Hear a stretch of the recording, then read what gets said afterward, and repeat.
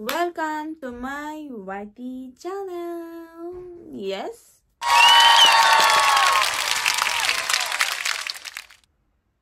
So, ayan guys. Welcome to my YT channel at for today vlog is update po about sa last vlog po guys. Um, our dream house. about yun. Aming dream house.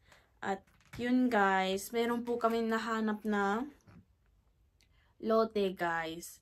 At actually medyo malayo po from here to to dun sa nahanap po namin lote kasi um ang una kasi guys dito lang talaga namin hinahanap dito sa malapit dito sa bahay namin. Dito um dito? Um di, dito dito dito lang din kami naghahanap nung una. Kaso meron pong lote na bakante po guys yun nga lang um medyo expensive you know guys kasi Ewan ko kung bakit. Sa bagay kasi malapit sa school, malapit sa supermarket, malapit sa drugstore, malapit sa basta malapit sa lahat kaya siguro expensive. Pero meron din po kami na kasi yun doon sa nakita po namin na lote guys. Sobrang luwag siya guys. Maluwag siya. Yun nga na expensive. Tapos meron po kaming uh, antik dito. Pinakilala po kami nung nung kaibigan namin na lagi namin pinupuntahan guys. Yung kuya, yung kuya niya po kasi guys, ano, merong daw kakilalang nagbebenta ng bahay or lupa guys. So, yung pinakilala po kami at meron po kami nahanap. Yun nga, meron po kami nahanap na lote. At yun guys, um, yung Actually, nakapili na po kami ng lupa, guys, ha? Tapos, yun nga yung pinakilala sa amin. Pina, pinaano din sa amin yung lupa, guys. Dito daw maganda magtayo ng ganito, ganun. So, yun nga yun dun sa pinaano sa amin ng lote, guys, is malapit lang sa bahay nila. Bahay nung kaibigan namin. Ano, 5 minutes walking lang, guys. so, from here, medyo malayo siya, guys. Mga 20 minutes siguro, guys. But, ayun, yung 20 minutes na yung bali, sasakyan po guys ha. Pag, pag nag-drive ka ng sasakyan from here to doon, doon sa pinili namin lote. 20 minutes. Tapos ito pa guys, alam nyo ba, doon di, yung nahanap namin na lupa na dito dito lang, yung kalaki niya, ganun din kalaki doon sa pinakilala sa amin na lupa. Tapos, doon sa nakita namin dito, dito lang na lupa guys malaki din siya guys. Expensive nga yung sinabi ko kanina. Expensive. Tapos guys, yung pinaano din sa amin na lupa dun sa pinakilala sa amin guys. Yung laki ng lupa, ganun din yung kalaki ng lupa dito sa expensive. Pero, hindi siya expensive doon doon guys ha. Isipin nyo guys, magkaparehas yung laki nung, laki nung lote tapos mas mura. Siyempre, pipiliin namin yung mura guys. Kasi, magkaparehas nga yung ano eh, laki ng lupa mo tapos magbabayad ka ng expensive dito eh meron din naman palang mas mura. Eh di, yun, di ba guys? so kaya yun but um nag-ano na po kami guys. Bat daw bakit sinabi kong bat? Ayan, ano ba yun? So, yun nga dahil nakapili na po kami ng lupa, nagpa ano na po kami ng loan kasi sinabi ko tulad ng sinabi ko last vlog ko guys, dito ay pwede ka din mag-cash na one time lang pero gusto namin unti-untihin. Bakit? Kasi hindi pa kami nakakaipon na ganung kalaki guys. 3,000, hindi, 4,200 lapad. Hindi ko lang maano dyan sa sa Pilipinas kung magkano. But, sige, i-ano natin, i-compute natin. So, bali yun nga guys, um, Wait lang ah. So, yun nga, bali, 4,200 lapad dito sa amin, guys.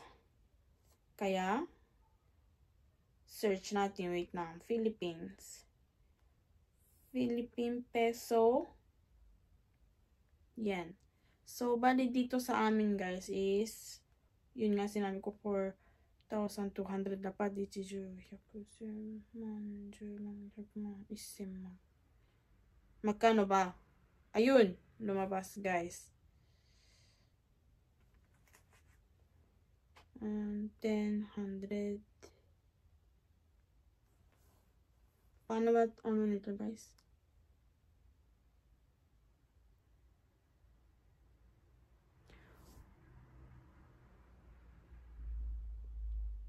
Ang laki pala guys, tingnan nyo oh. Yan yung, ano niya guys. Ganun kalaki yung, yung, tag dito, yung price ng bahay namin na itatayo guys. Kasi may amount na po yun guys. At sa loob na 4,200 lapad, dun po kami pipili ng mga, mga, tag dito, mga, yung design ng bahay guys, di ba? So, ayan nga, nagpaano na po kami ng loan at hinihintay lang po namin ni Jowa. Jowa? Asawa na pala. Jowa pa rin nasa utak ko. Bahala na. So, yun nga, hinihintay pa namin yung result. Kasi, nung 4 days ago, no. Oh, ato 4 days, nung last Friday, guys. At Friday ba yun? Hindi, hindi Friday. Lunes na pala yun. Ano ba yan? Eh, ano na ngayon, eh, Thursday. Yun nga. Noong lunes po, guys. Noong lunes po, noong lunes, opo, noong lunes namin tinignan yung lupat at at agad-agad namin pina ano yung loan para syempre naman 'di ba sino ba naman hindi papayag na kunin yung lupa na ganun, ganun din kalaki. At syempre guys, ipapakita ko din po sa inyo guys, yung before and after.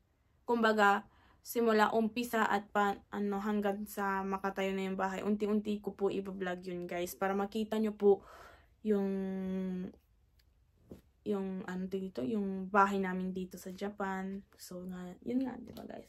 At kahit hindi pa kami na-approvean yung loan, guys, pinakita na, pinapili, pinapili na po kami kasi sure na daw na makaka, makaka, ano na, ito, makaka-approve daw po kami ng loan. Yun, kasi both, both po kami nagtatrabaho. Siyempre, kung ikaw lang mag-isa yung nagtatrabaho ka, mahirap na. So, yan nga. Hindi pa naman yung, hindi siya totally na ganito yung bahay, guys, ha. Kung baka ito ay pini, pinapakita lang nila na meron pong ganitong kulay, ganun. At sa loob guys, ipapakita ko sa inyo, meron din pong tapos, yung alam nyo ba guys, ang ganda nga eh. Tingnan nyo. Pili ka ng ganyan, meron pong ganitong kulay, ganun ganun. Tapos pili ka ng yan. Basta madami guys, ang hirap i... Kasi tingnan nyo yung kapal oh. diba? So, kumbaga, yun. Meron pong ganyan, ganun. Diba? Yan, kulay ng hagdan. Kulay ng Ayan, pinto, ganun. So, yan yung mga bintana. So, ganun po guys. At hinihintay na lang po namin ang result po ng loan. So, ayan, gusto ko lang ikwento sa inyo na nakahanap na po kami ng lupa.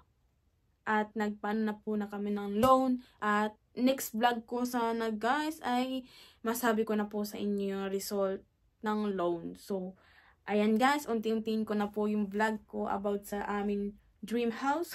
dream house talaga yun. So, ayan. Siguro, hanggang dito na lang po yung for today's vlog ko guys. At see you next vlog! So, thank you for watching. See you next video. Please, like, subscribe. Bye bye.